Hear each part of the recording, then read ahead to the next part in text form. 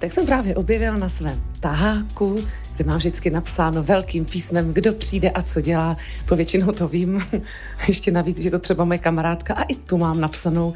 A já tam mám chybu tisku. Já mám napsané, že přijde Jitka Čvakčarová. Jo, tak takhle já nevím. Takhle, kdyby tady seděla Čvakčarová, teď, tak já jsem v troubě, přátelé. Protože o Čvakčarový nevím fakt vůbec nic. Co to naštěstí o Jitce Čvančarové. Toho vím dost. A na úvod všem posluchačům dvojky i vám v Radio Kafe Vinohradská 12 12, kde vás je požehnaně a my za to děkujeme. Chci říci toto. Je ve filmové, televizní i jevištní tvorbě představitelkou a nositelkou výsostně ženských témat. A velmi často témat silných, stejně tak jako silných žen. A můžu říct, že to není náhoda. Je to hluboká a silná žena s odvahou. Za své názory a postoje se postavit a hlásit se k ním.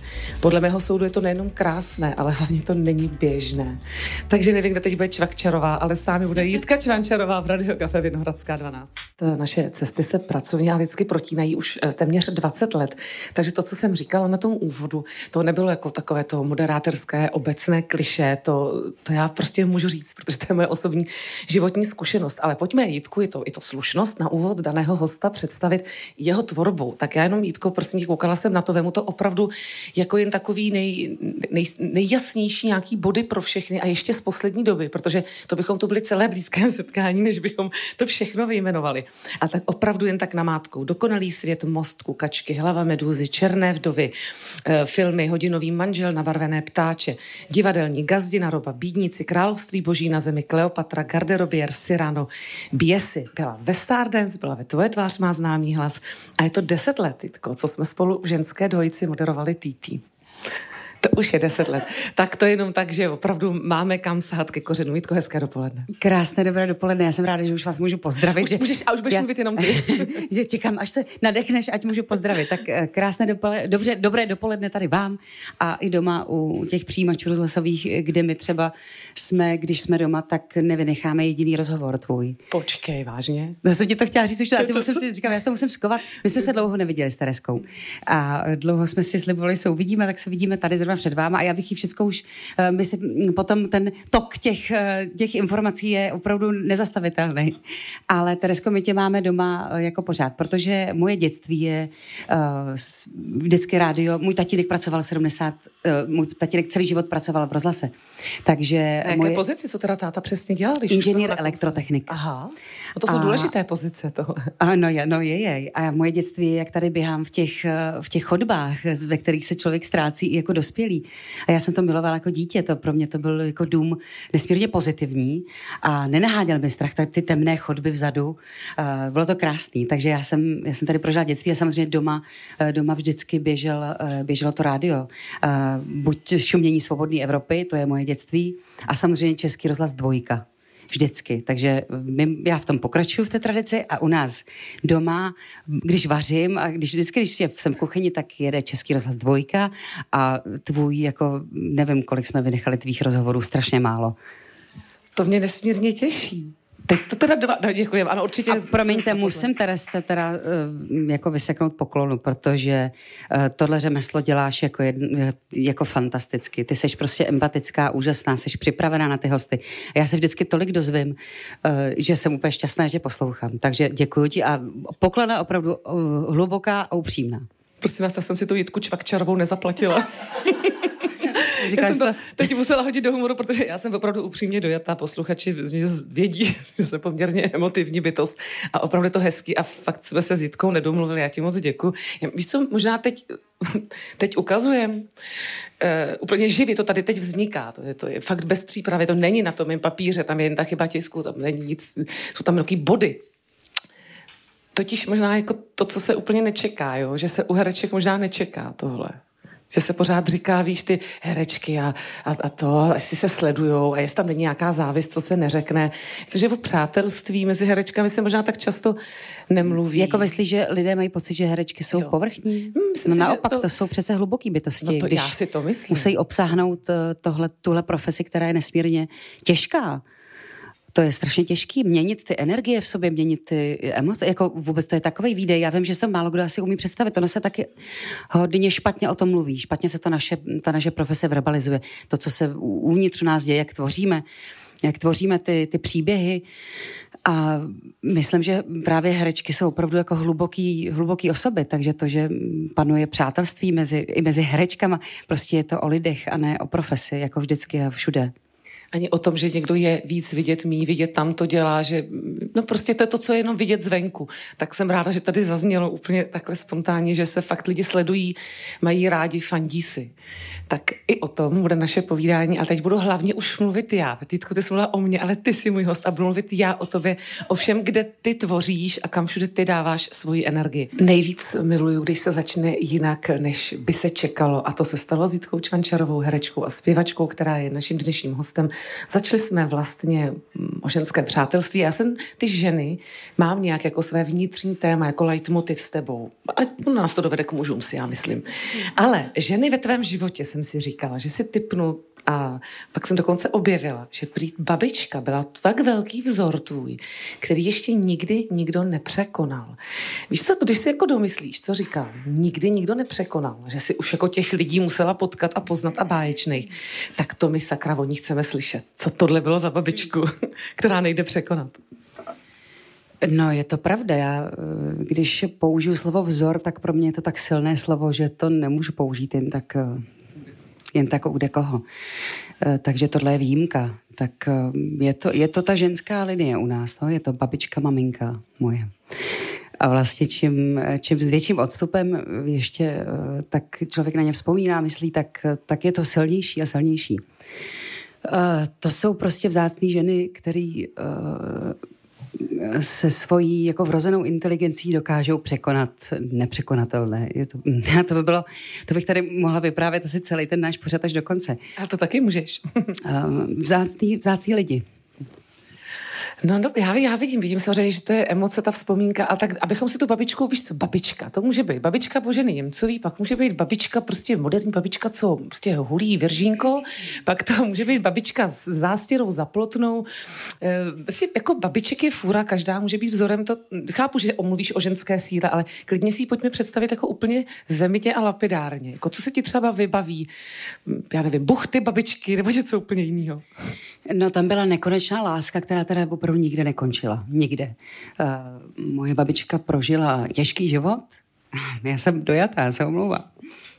Já tohle vlastně chápu, no to chápu, no. No protože to je asi ono, no. To je asi ono prostě, kde je ta ženská síla? Co je ta ženská síla? Jestli věci vydržet, nebo jestli je neříkat, nebo jestli je umět říct? No, ona právě měla spojený uh, to, tu sílu velkou hmm. s velkou láskou. Promiňte. Ne, to úplně chápu. Já to úplně, já tomu úplně rozumím. Já v tom vidím hrozně, já v tom vidím budoucnost teda velkou. Uh, fů, Žena? v té ženské síle. síle. Jo, jo, jo. V té ženské čisté síle, v té mateřské, v té obrovské, no protože mateřská síla je nezlomná, že jo? to je prostě ty dokážeš jít proti davu a seš tank prostě, když chráníš své děti. Uh, myslím si, že by člověk i, teď, teď to bude znít asi divně, ale že by člověk dokázal i, uh, pokud by šlo o život tvých dětí, tak zabiješ ve vteřině bez, bez rozmýšlení, protože chráníš. Umíš si představit i takhle třeba uh, hraniční já, já, jo. Já úplně, já úplně bez, jako bez zaváhání. A teď nechci, aby to vyznělo špatně, jenom, jenom mluvím o té síle, že je um, že je vlastně, že jak, jako kdyby neměla hranice, ta hluboká, ta, ta hluboká. Ale um, moje babička měla spojenou s tou obrovskou láskou a s laskavostí, uh, s nesmírnou uh, pokorou k životu. Tam, tam toho je opravdu jako hrozně moc. Jsi jí podobná? Teď myslím vizuálně třeba. Jsi, ona je ze strany maminky, byla to maminka maminky, jdeme po téhle linii, nebo... Myslím si, že jí jako vizuálně třeba není nikdo podobný. Tak kdyby, jste, kdyby, si, kdyby si si chtěla představit, tak to je drobná dáma s, se stříbrnými dlouhými vlasy, které si splétala každý den do drdolu. E, naprosto precizního drdolu. Ona byla nesmírně noblesní, taková e, Alžběta anglická, v tomto taková noblesní, noblesní, inteligentní dáma, ale nesmírně prostá v té lidskosti, v té humanitě, uh, v pomoci bližnímu. Uh, nikdy nikomu snad neřekla ne, ačkoliv sama, sama jako strádala. No, hele, tam bych toho měla mnoho. Já musím říct, ten obraz té babičky, ty stříbrné vlasy spletané do copu, že to je úplně Do drdolu. Do drdolu, no ano, do drdolu. a pak dotočené do drdolu, ano. Já jsem to uměla jako, jako malá jsem... holčička, já jsem jí, to, já jsem jí ráda česala, vždycky jsem jí uměla ten drdol udělat, tak bylo vždycky ráda. Eh, že jí volali už po tom roce, když byla stará, mm-hmm. a taky jí volali, že se musela držet uh, hlavou truce. Ele, Elenka uh, má druhé jméno po ní, Emílie se jmenovala. Mm-hmm. A tím jsme se dostali k dceři. Kolik už teď je, prosím tě, Elence, Emílii? Já ji pamatuju pěti let. Ta Lenka, která má teda druhé uh, jméno, protože je křtěná, má po babičce teda, o které jsme mluvili, Emílie, je jí deset let. Toto letí. Už no. slečna. no a prosím tě, tam je totiž k čemu já směřu. Tam vstoupil do života chlapeček, že jo. A já to vím u nás v rodině, kde právě hodně bylo také ženské téma, hodně žen, hodně žen, muže, aby se dohledalo. a pak, když se narodil teda ten toník, tak se řekl, to velký čoro, protože to je opravdu trošku jiná energie. To je, to není jenom jiný tělíčko, to je prostě i trošku jiná energie, jiné principy. Sledovat to úplně jako od, skoro od té buňky, bych řekla, jo, v tom těle. Vnímáš to taky tak? Já myslím, že pro nás kluka? matky je to, je to docela i dobrý, že se o těch mužích dozvíme ještě něco víc, protože tam jsou prostě vrozené věci, který, eh, který člověk odkryje asi až s tímhle blízkým, jako jiným kontaktem s tím malým, malým človíčkem, jako mužem. No. Eh, je to tak, je to tak, jak to říkáš, je to, je to úplně jiná energie. Uh, oni jsou teda, oba, oba, oba, oba dva jsou teda krásný lidský duše to je vidět už jako teď a fakt mají, to je, oni, oni oba dva svítějí a jsou si teda strašně podobný. Jak vizuálně, to bys nerozeznala jako fotky, když dám miminek, tak bys nerozeznala, kdo je Tedíček a kdo je Elenka ale jsou si podobní i povahově, teda i tím, i tím uspořádáním vnitřním velmi. No, Tedíček bude, um, jako vypadá to nám fakt jako silného, svéráznýho uh, chlapa, který jde přímo, a tak se na to těším teda, až jaký bude, až vyroste. Jedna věc je, všichni se s tím potýkáme více či méně výchova, ono se o tom hrozně dobře píše, dá se na to koupit neskonalé publikací, a pak je realita a ještě navíc dvě různé děti, byť si hodně podobné. Jak se vyvíjí jako ty matka ve výchově, jako s holčičkou, jak s klukem, jak s klukem, který říká, že je tak osobitý. Elenka je velmi osobitá bytost, nádherně. Známý jako malou, to s ní byly nádherný rozhovory už jako s maličkou. Co to jako dělá ten vývoj tvé výchovy jako matky? Víš, co by bylo krásný, kdyby lidi se vůbec nemuseli číst o výchově nic, žádný knížky, žádný internety. Kdyby se uměli, bože můj, uh, bože, ano, kdyby se uměli poslouchat sebe vnitřně. Já mám trošku pocit, že, že jsme se jako přestali vnímat vnitřně. I to, že v dnešní době uh, jako přestat se cítit, eh, přestat cítit toho člověka vevnitř, tu duši. Eh, jak to, že v dnešní době vysvětluješ někomu, kde ta pravda na Ukrajině je, kde je ta pravda, jak je to možný, jak je to možný, že ty lidi přestali cítit tu, tu pravdu, cítit i sami sebe. Kde se to vytratilo? Ta, mě to jako, mě to opravdu, neumím se s tím srovnat a proto teda navazuju na, na tvoji otázku. Ve výchově je to každý to musí vědět někde hluboko uvnitř. Samozřejmě, samozřejmě kéžby, kéžby ty rodiny vždycky byly tak um, tak správně nastavený, myslím, ve vztazích, v komunikaci, eh, v, v zásadách, v, mm, že, by, že by to čistě a jednoduše jenom předávali těm svým dětem dál a ty děti by se na nic neptali, protože by věděli od narození, co je správně a co je špatně. Eh, nemuseli by se ptát a hledat význam slov, jako je, jako je čest, pravda, pokora, láska. Nemuseli by ten význam vůbec jako hledat, protože by ho měli eh, zakódovaný v sobě. Takže, no, takže kež by by nikdo nemusel nic číst o výchově. Vrátil se k tomu poslechu. Vrátil se, se to k sobě i, sám. Jako výzkumem ví, že vlastně malá bytost už někdy v 6-7 měsících jako přirozeně ví, co je dobro a zlo. Jsou na to opravdu jako vlastně to otestovali, že, to, že ta bytost to ví. Ano, prosím, toto je Kde fakt, se to pak nespochybnitelný fakt. Ano. ano. No, protože je, je nějaký jako, ta, ta společnost je nějak jako svede z cesty. Svede z cesty tím myslím že jim rozostří, rozostří ty, eh, ty bystré smysly. Ano, roz, no, ano, ano. Ro, rozostřujeme se, myslím tím, kolik informací vnímáme, kolik žijeme životů cizích lidí na internetu, nežijeme ty svoje vlastní a ztrácíme se sami sobě a sami v sobě. Ale teda podle mého jsou to soudu se to evidentně neděje mému dnešnímu hostu. Co myslíte vy v Radio Kafe Vinohradská 12. Jitce Čvančarové? Myslím, že se jí to nerozostřuje. Od toho malého mužička, malého chlapečka, jak se krásně říkala, že ještě jinak člověk začne vnímat muže, úplně, úplně od základu. Má to vliv potom na vztah s tím velkým mužem, který teda možná teď poslouchá, jestli to máte v kuchyni naladěný. A Petra Čatka moc zdravíme. Se musím zamyslet teď, jestli to, já myslím, že všechno tě ovlivňuje, každý den tě ovlivní nějaké věci a formují tě někam. Jako třeba Takže, aniž víš vlastně, aniž máš konkrétní jako Myslím, příklad. že část si jich dokážeš uvědomit a určitě některý ne a zjistíš je až, až po čase, že si říkáš, a tady se něco změní, aha, tady uh, se musím jako zamyslet, aha, to dělám jinak. Um, nebo přemýšlím nad tím jinak najednou. Myslím, že se, to, že se to určitě děje, všechno tě, nějak se člověk vyvíjí a myslím, že na tuhle otázku mi asi měl odpovědět můj, můj muž, můj Petr. To je pravda. Petra, jestli najednou si pochopila na malém chlapečkovi něco a ono se to projevilo na velkým. tak nechám odpovědět mého muže, ho tady budeš mít. Dobře, ráda pozvu Petra a zeptám se, jak to bylo. Ale já směřuju záměrně k tématu, jako muži, ženy, a teď pořád to slyšíte, Jitka nádherně hovoří o hodnotách, jak je potřeba je cítit, eh, o vztahu k mužům, k dětem. No a pak tady máme ty černé vdovy, že jo, ty tři strigy, který, když se nějaký chlap nelíbí, tak to má rychle spočítaný. Vy jste točili teď druhé pokračování. Tak já říkám, to tě muselo bavit, protože to jako úplně nedáváš že Taky dobrý přístup k životu. Já jsem čekala, co mi na to právě řekneš. Myslím, že tě to musela prostě hodně bavit. To je ta opravdu černá komedie. No jasně, tak třikrát upozorníš, když to nejde, tak zasáhneš radikálně. To je vlastně fér. No a jak je to s tím druhým pokračováním? Máte už dotočeno?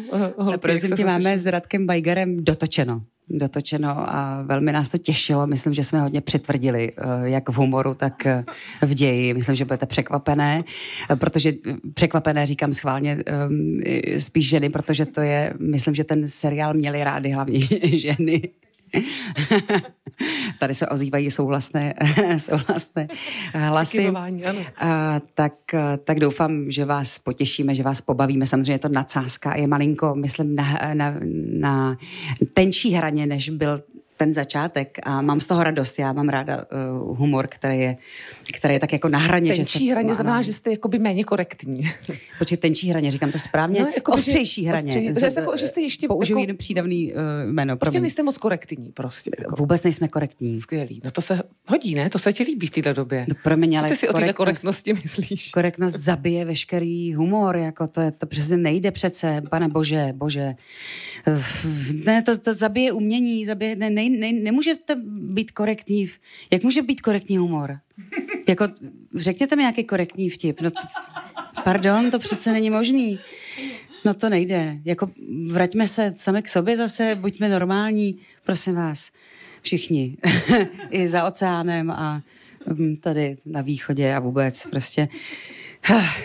Já myslím, že humorem se právě dá spoustu věcí posunovat, což se ukázalo v Mostu kde jsme měli výrazný jako kontroverzní témata a tím humorem najednou na to koukal celý národ a vlastně to nikoho nepohoršovalo, protože se tam dělali všichni legraci absolutně ze všech a ze všeho, jak z bílých, černých, uh, tak eh, z, z krátkonohých, dlouhonohých, eh, tlustých, tenkých. Nikdo si nemohl stěžovat, že na Nikdo si nemohl stěžovat. Nikdo prostě. Ze všech, ze všech druhů sexuálních uh, pohlaví, uh, ze všech úplně se dělala legrace a přesně, že se nikdo nemohl stěžovat a všichni to najednou vzali. A to je možná cesta, jak, jak těm lidem, jako, jak jim něco říct. Humorem, no, ale já to myslím, nevím, jestli to úplně umím, jako já třeba, jako sama no, to umíš, sebe. když jsi odpověděla, že to je taky cesta a tím se vyřídila ty tři čarodějky, co otrávím partnera, tak to, já myslím, že to, to nepostrádalo vůbec nic. Je jako no. skvělý, že, se, že, že, že víme, který, jako, že umíme posoudit věci zásadově, že víme, kde je ta vážnost, ale je skvělý taky nebrat se někdy vážně úplně mít, mít jako nadhled, no, což eh, já teď mluvím jak mudroprt tady, ale taky to neumím jako někdy prostě, taky si říkám, je, Mara, co seš zase opravdu, nebere se tak vážně, co to tady, jo, jo jakože člověk si řekne, no, tak hele, klid zase, jo, nadhled. Neumím to každý den, každý den se učím, všichni děláme chyby, jenom se o to snažím a jako vnímám to. No, nebrat se vážně je taky někdy skvělý, takže ta korektnost... Ale nevím, opravdu... jak jiný dny, ale dneska ti to jde. je to dobrý. Dostanu se pomaličku ke zvířátkům. Ta první otázka je taková.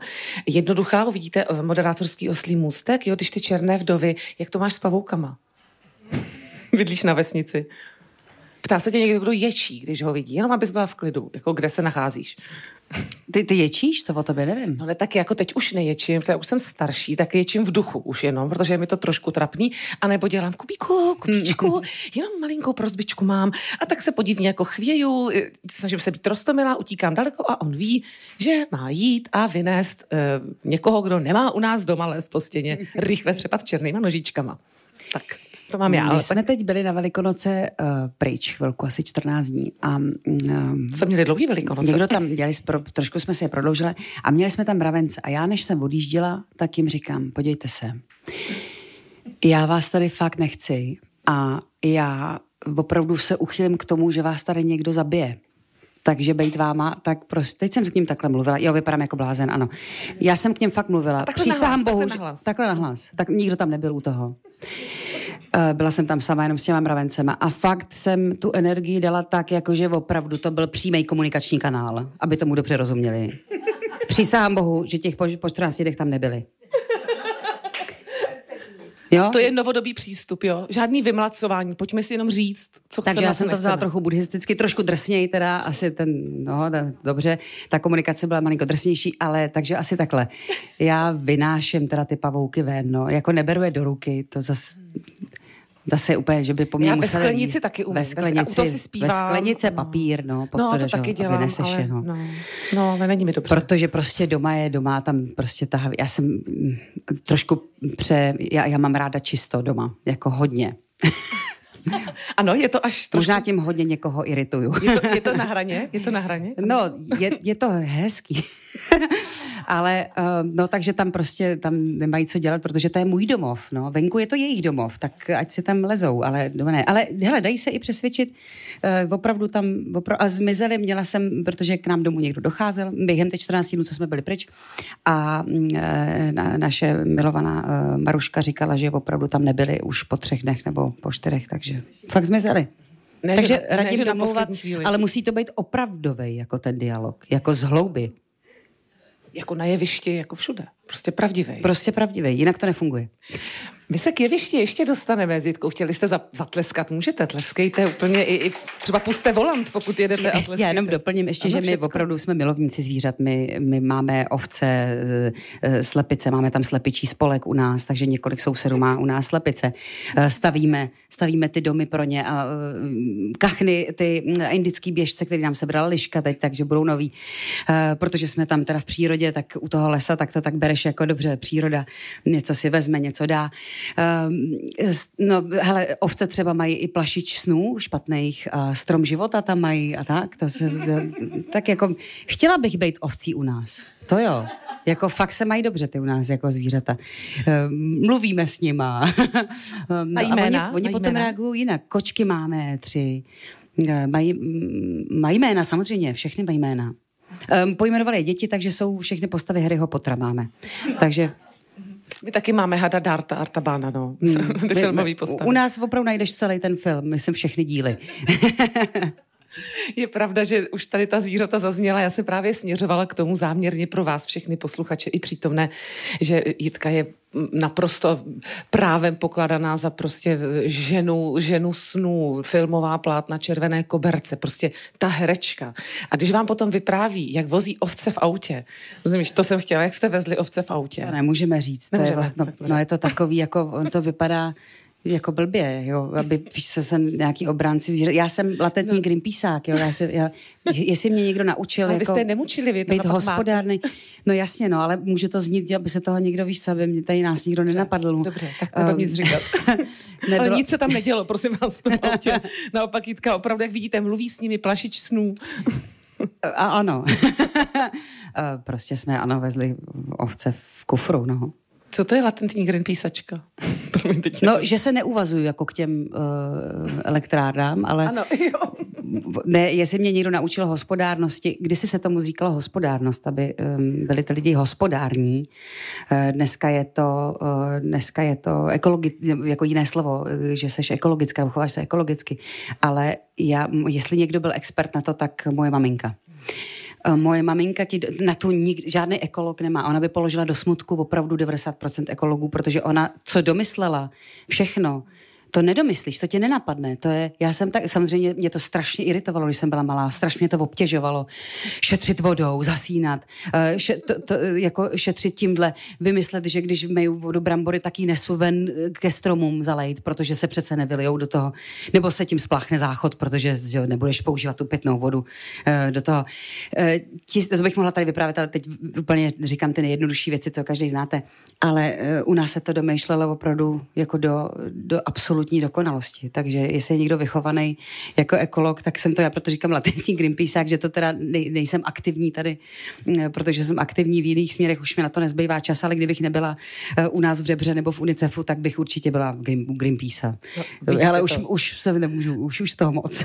ne, to je nádhera. Víte, co pro moderátora je krásné, když vlastně vám jako tu strukturu přirozeně vlastně vede ten host. Ano, Debra, tam bych se ráda dostala za chviličku na dvojce. Když jsme začali tou silou, ženskou silou a vůbec s obětavostí, věnováním se s láskou něčemu, tak um, nelze mít Jitku Čvančarovou. Kdyby tady byla Čvakčarová, tak bych to téma nemusela otvírat. Jestliže tu mám Jitku Čvančarovou, tak se nemohu nezeptat na její uh, vlastně filantropickou, charitativní, letitou práci. Uh, ona je na více frontách samozřejmě, ale tak ta Debra k tobě patří, už to už seš opravdu toho, jako s těmi ostatními, s tím týmem, vlastně opravdu jste, seš máma toho, prostě ne. To už je tvoje jak, jak součást těla, mi přijde. A říkáš jak to, kůže, to... jak kůže. ano, to je, já myslím, že asi všichni vědí, že Debra se, se staráme o pacienty s nemocí motylých křídel, což je vzácné dermatologické onemocnění. A um, já si myslím, že třeba 15 let asi uh, je to, je to součást mého života. A, a zase je to já mám jako silné sociální cítění, protože jsem tak vychovaná. Moje maminka byla, eh, byla stavařka a objížděla technický stav budov, eh, technický stav budov sociální péče. Takže já jako malé dítě jsem eh, jezdila s ní, vždycky jsem čekala na ní, než ona to oběhne a spapíruje. A já jsem čekala u těch babiček a seděla, vyprávěla jsem se tam s těma, s těma stařečkama, nebo jsem čekala, kdy byly ještě klecový lůžka tenkrát, takže s dětma, který byli různě postižený a byli, byli v klecích a já jsem si tam k ním sedla a něco jsme si vyprávěli, třeba neverbálně, ale pamatuju si to živě, že jsem s těma seděla, drželi jsme se třeba za ruce prostě nějak jsme komunikovali nebo fyzicky se dotýkali a vlastně, vlastně jsem to brala jako automatickou věc, proto vím z vlastní zkušenosti, že je strašně důležitý ty světy prolínat, protože někdo je, někdo je záměrně odděluje a to je strašně špatně. My se musíme naučit přirozeně fungovat, fungovat pospolu, přirozeně si pomáhat a neptat se na to. Vlastně se už pak jako neptáte, jak, jak můžete pomoct, protože vidíte a, a jednáte, protože se nacítíte cítíte na to, jak, co je zrovna potřeba. Uh, a to je strašně důležitý, takže no. A, tak to jsem zabředla. Jo, pro, já, to zabředla proč, velmi krásně. Jasně, proč, uh, pro, proč to u mě, jasně, že mě zase formovalo to dětství, že to beru jako automatickou věc. Zase když, máma, babička, vlastně pořád zase, tam ten kořen někde máme. Ano. Zase, takže když mám jenom trošku energie navíc, když trochu můžu, tak samozřejmě pomůžu kdykoliv a vůbec se neptám, jako proč, nebo nedej bože, co za to. to je prostě úplně jako, mm, jestli něco nenávidím, tak to je mm, zeštnost, povrchnost, nadřazenost, to úplně to opravdu, to, to pokrytectví, to jsou věci, které opravdu nesnesu a umím se teda jako mm, hodně vyhranit, to byste mě možná ani nepoznali. tady, teď se tady usmívám, ale tam myslím, že dokážu být jako uh, hrozně ostrá v tom někdy, až, až se jako brzdím, ale tohle opravdu lež je něco, co jako ne, nedokážu jakkoliv, jak, v jakýkoliv míře akceptovat. Ne, nedokážu a vyhraňuju se naprosto jako silně. Ale uh, to jsem, to jsem uh, promiň ti, uh, odbočila od... Ne, to od, neodbočila, to ne, si... filantropické tady no, Ne, to si života, vlastně ale... popsala právě úplně je jinak to... a jinudy a to je na tomto krásně, no bych ti chtěla říct, že my si to jako umíme představit, nám stačí, jak mluvíš z mravenci a vůbec bychom si nedovolili ani zalhat před tebou, protože to už jenom to s těmi mravenci bylo ostrý. Jitko, milá, já bych se strašně chtěla s tebou povídat. Musíš mi slíbit, že ještě jednou zas doma nenaladíš a přijdeš sem. na blízký setkání příště, protože my dneska musíme končit. Je to nemilosrdný ten čas. Je to, já bych si s tou povídala, já jsem tě dlouho neviděla, ale vás, vás taky ráda vidím tady. Uh, jsem ráda, že vás tu je tolik tady v Radio Café, tady na Vinohradské 12 a, a doufám, že doma, doma se máte taky dobře u těch eh, rozhlasových přijímačů. Tak bylo mi, bylo mi radostí tady s váma dneska být. Nám taky všem, veďte.